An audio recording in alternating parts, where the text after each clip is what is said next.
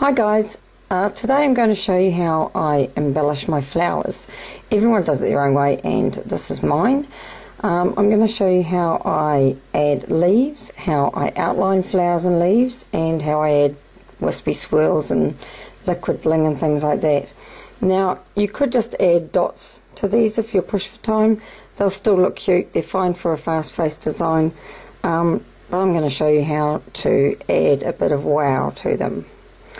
Now, firstly I want to show you how I outline my petals. Um, I'm going to do it in black today. You can do it in this, the same purple, you could do it in dark purple, pretty much you could try anything. Um, experimentation is the key I suppose. Um, the brush I'm using today is a very fine tipped brush. It isn't a face painting brush I don't think. I got it from an obscure little art shop. Um, it looks like about a number one. Um, it's got a very, very sharp tip. It's got very um, stiff bristles, and this is my absolute go to brush. I use this more than any other brush in my kit. So, I'm going to use black today, which can be a bit harsh on a design, so be careful when you're using black. Um, if you use black to outline your flowers, you need to use black to outline your leaves. It sort of goes together. So I showed you on the other video how I um, add highlights to the centres of my petals. Okay. You can add them along the way. You don't have to add them to every single one. Okay. Now when outlining, I, I'm not going to trace the edges of the petals perfectly. I'm going to make it a little bit shaky, a little bit random. You can trace them perfectly if you want, if that's your thing, if you think that looks better. But this is what I do. I just trace around them roughly. I'm not covering every bit. I'm not even following the lines very well. But this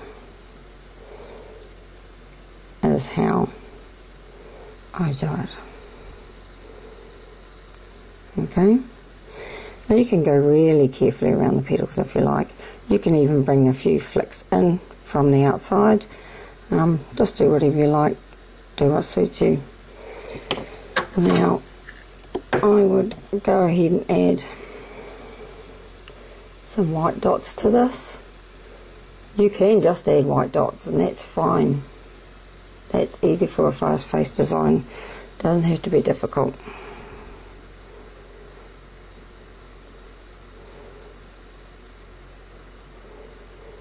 Okay. Now the second thing I'm going to show you is the wispy swirls. I will do them in a matching colour, the one that I double dipped into which was Tag Pearl Wine. And again, we're using a really, you can see how runny that is, really runny mixture. Any thicker than that and it's just going to clog and stick to your brush and be very dry. Okay, so if I'm highlighting, go ahead and do that. And now I'm going to add some little flicks and swirls to the outside of the flower. You can go right around if you like. It's all preference. Now I'm just just touching the tip of my brush and I'm I'm just about doing it above the skin quite fast and then just touching it on the skin so it's just making the lines. Now I'll do that and then I go in and highlight with white. And the white doesn't have to be directly on top of those. Oh, you can do it. The side. That's just all preference. And I do that around most of my flowers. Just makes them look pretty and wispy. Again adding white to the centre.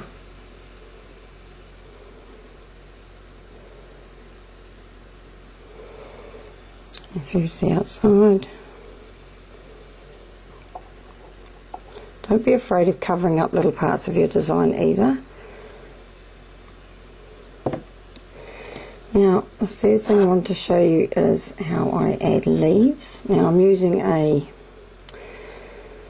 Loew-Cornell Soft Comfort number, hmm, I don't know, it's about number three, I suppose.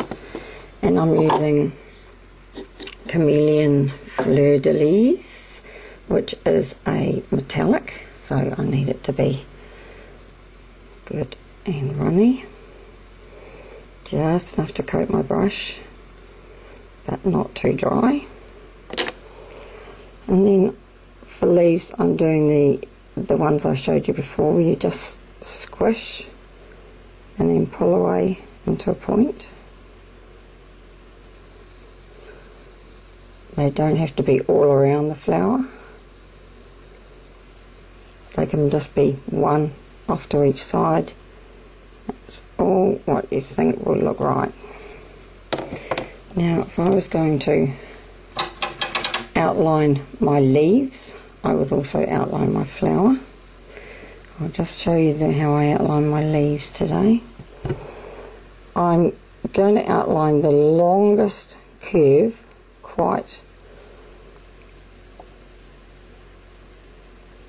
dramatically long and then I'm just going to come in here and not quite finish the line there see and then little line down the centre and that is how I would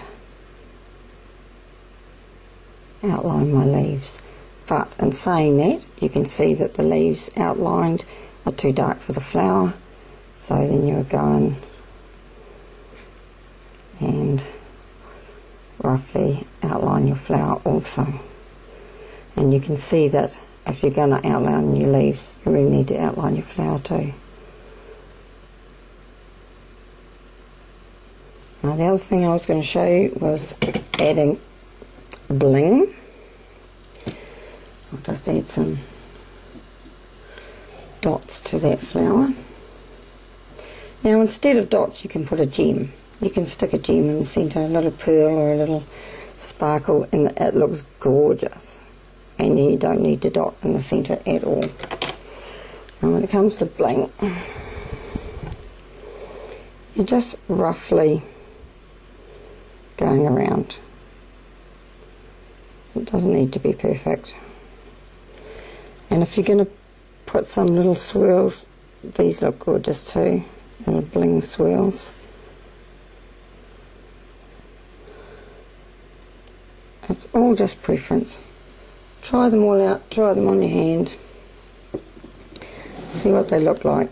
Now all of these techniques can be used separately or together um, in any way. Some take longer than others and depending on time you may find that some work better in a fast-paced situation. Things like adding bling um, is something you would add to like a costume piece if you were going to do a, a mask for masquerade or something like that. Um, just try them out. Get your arm out, paint it endlessly, see what works, um, and good luck to you. Now my next tutorial will be probably a face, and I'll be showing you how to put these into a design, make it happen on the face, how to curve it around the eye. Um, so hopefully I'll catch you back for that. Thanks for watching.